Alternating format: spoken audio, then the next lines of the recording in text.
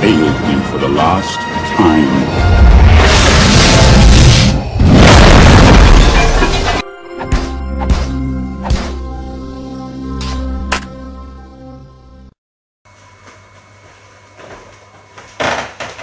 Herzlich willkommen zur Star Wars Show Deutsch. Star Wars Show Deutsch, 40 Jahre Star Wars, euer Medienkanzler, euer Captain Rex. Ja, wie sieht das denn hier aus? Richtig, wie sieht das denn hier aus? Ist ja alles fast schon weg. Richtig, wir haben den sogenannten totalen Ausverkauf der Figuren. Heute war auch ein Ansturm auf diese Star Wars Figuren. Die Leckerchen sind natürlich weg, die bei Amazon so richtig Geld kosten. Bei Amazon kostet eine Figur mittlerweile bis zu 355 Euro. Haben wir gesagt, okay, nimm sie mit für 69,95. Heute auch eine bei Amazon 89,95. Komm, nimm sie mit für 40. Und ist klar, dass das jetzt hier leer ist. Wir haben heute also einen kleinen Ausverkauf gemacht, weil samstags ist ja immer dieser Star Wars Stammtisch. Da kann man vorbeikommen, können wir philosophieren. Das wird auch noch bis nach dem E8 sein. Also es wird im Jahre 2017 bis Ende auch Silvester bis 1.1.2018 so sein. Am 1.1.2018 ist natürlich alles vorbei. Dann gehen wir ins 41. Jahr von Star Wars und Catherine Kennedy sagte ja, zehn Jahre geht es weiter. Also im Jahre 2029 wird weiterhin, also nach E9, also im Jahre 2019 geht es nochmal zehn Jahre weiter, weil bis 2019 ist ja alles schon in trockenen Tüchern. Solo, eine Star Wars Story mit unserem ja, er ist jetzt hier ein bisschen da an der Wand, ist ja auch nicht mehr da, der Harrison ist ja ein anderer Solo-Darsteller. Der Solo-Darsteller wird also 80% des Films wurde umgeändert, wurde soeben bestätigt, 80% des Films wurde verändert ähm, und neu gemacht. Einige sagten schon, sollen wir uns Sorgen machen über den Solo-Film? Wir machen uns gar keine Sorgen, wir finden Star Wars toll, wir sind Star Wars Fans, wir haben ja über 900 Star Wars Begeisterte im Filmclub ähm, die den Film Star Wars mögen. So, die Umbauarbeiten, äh, deswegen hat hier einen Grund, warum jetzt hier so eine Wahnsinns-Tanzfläche ist. Hier ist ja nichts mehr, ist ja alles verkauft, die Ware. Äh, ist aber noch genügend Ware da, keine Probleme. Äh, für Weihnachten sind sicherlich Geschenke noch zu haben.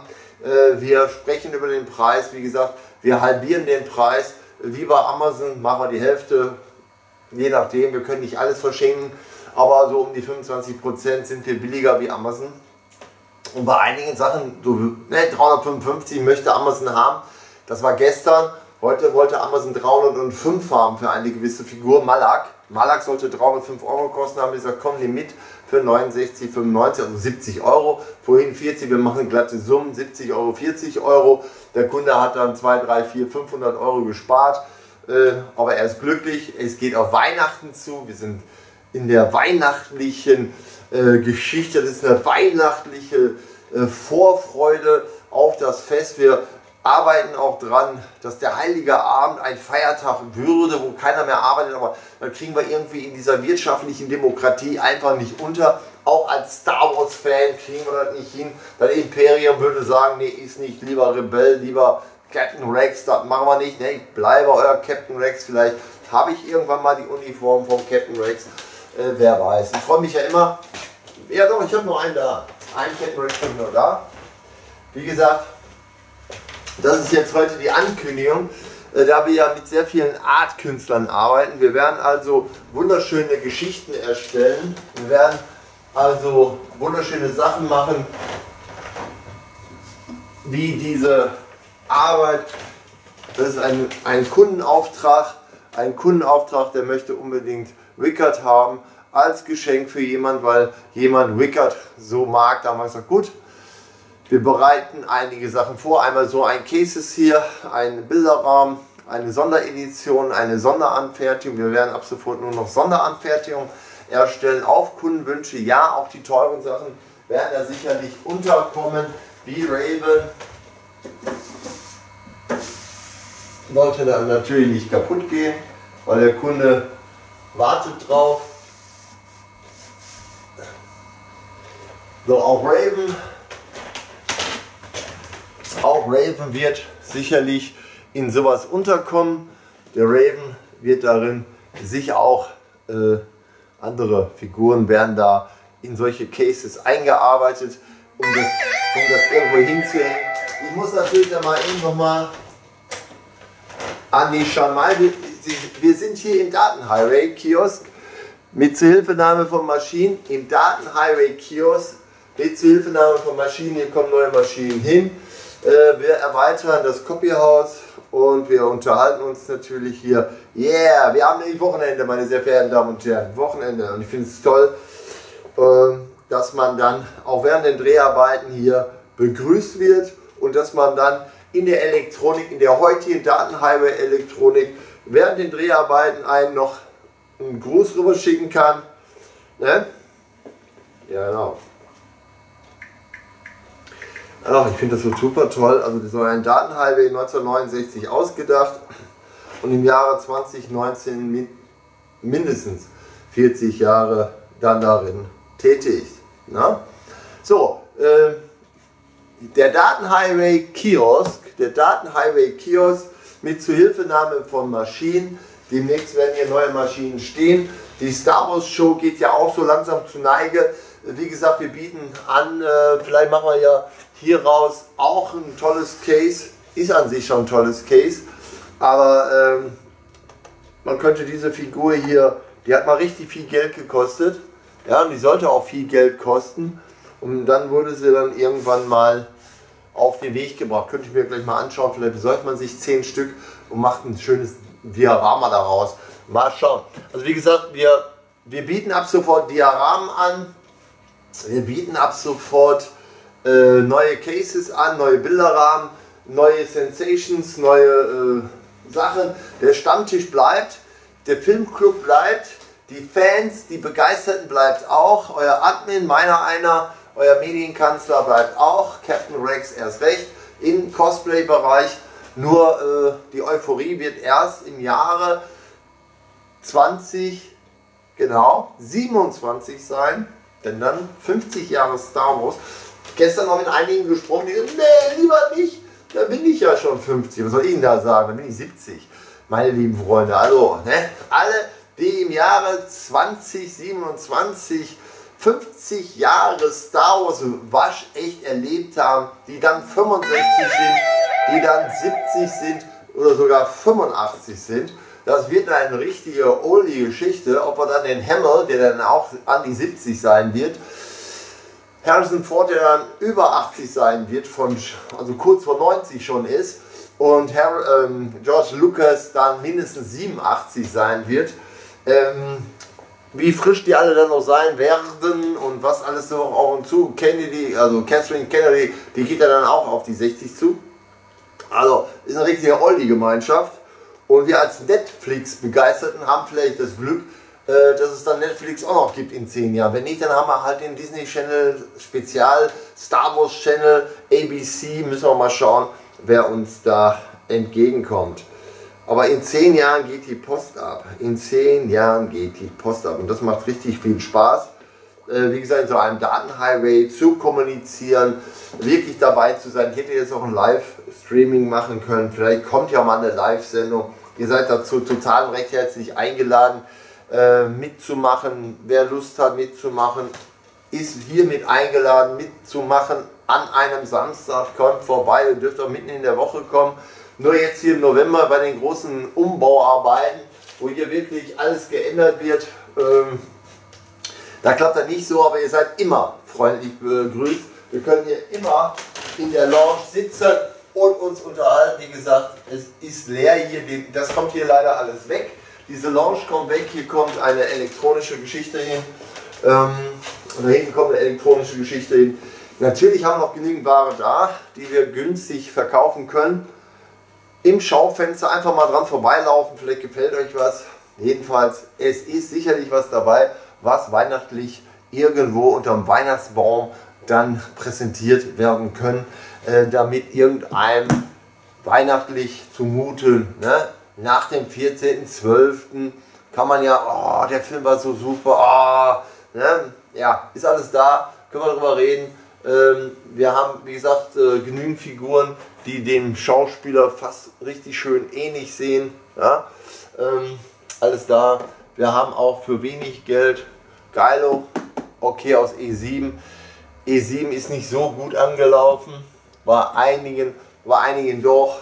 Ja, gibt ja immer drei, so eine Dreispaltigkeit. Die Hasser, die wenig Hasser und die Liebenden. Und die Liebenden, das sind wir, wir mögen alles, was mit Star Wars zu tun hat. Ob nur Star Wars, Clone Wars, die Rebels, E7, also 1 bis 3 Saga, 3a, Rook One dazwischen, ne? demnächst Solo der Film dazwischen. Ach, das wird schon alles passen. Demnächst haben wir so eine ganze Galerie, lauter Filme, vielleicht machen wir das. Wir haben auch noch die uralten hier. Äh, einmal die wunderbare TRX-Version hier, diese alte Trilogie auf VHS. Mann, war das Zeiten, extra das Gerät dafür gekauft, damit das so richtig scheppert in der Wohnung, das alte TRX. Dann haben wir die Gold Edition, die Silber Edition noch auf Video. Ach herrlich, dann haben wir die alle noch auf DVD, dann auf Blu-ray, vielleicht irgendwann mal auch in 4K, muss nicht sein, aber irgendwas ist da. Jetzt haben wir auch einige schon in 3D, macht also auch schon Spaß, zu Hause 3D zu gucken, Star Wars. Und äh, ja, ihr seid hier bei der Star Wars äh, Film GmbH ja sozusagen, wir, wir sind eine Fotofilmproduktion.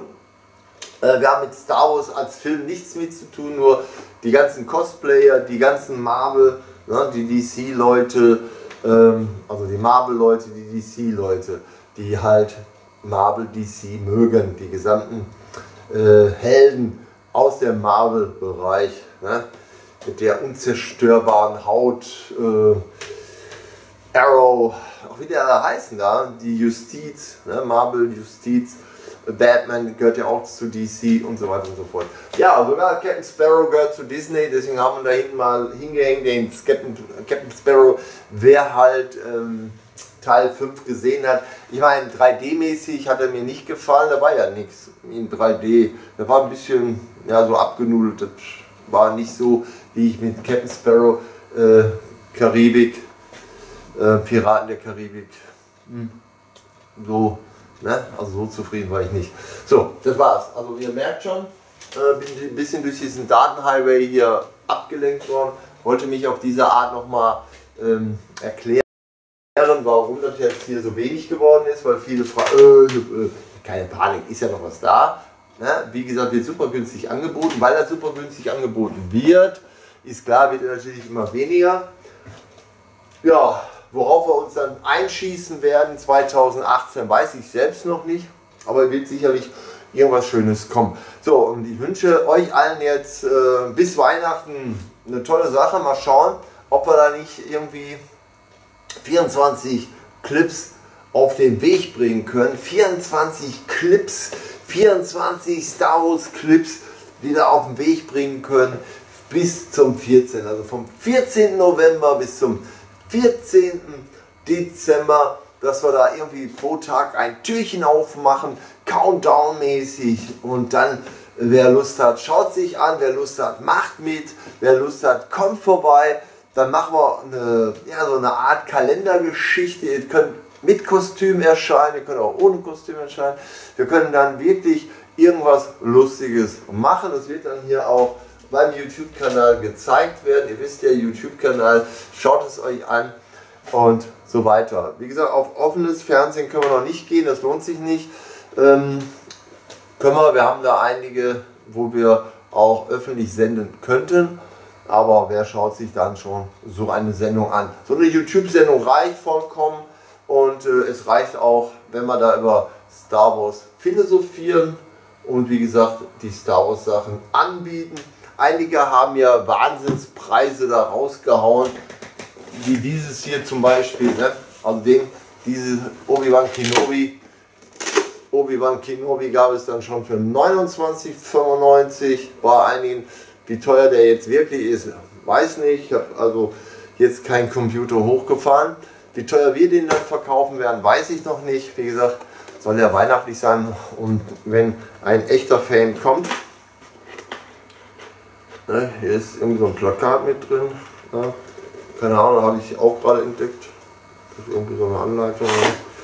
eine tolle Geschichte mit ne? Obi-Wan Kenobi.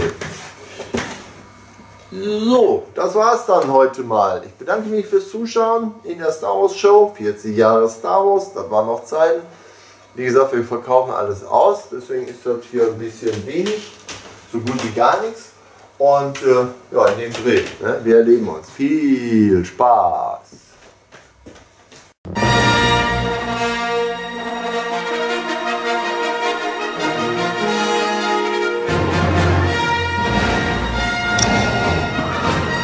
You have failed me for the last time.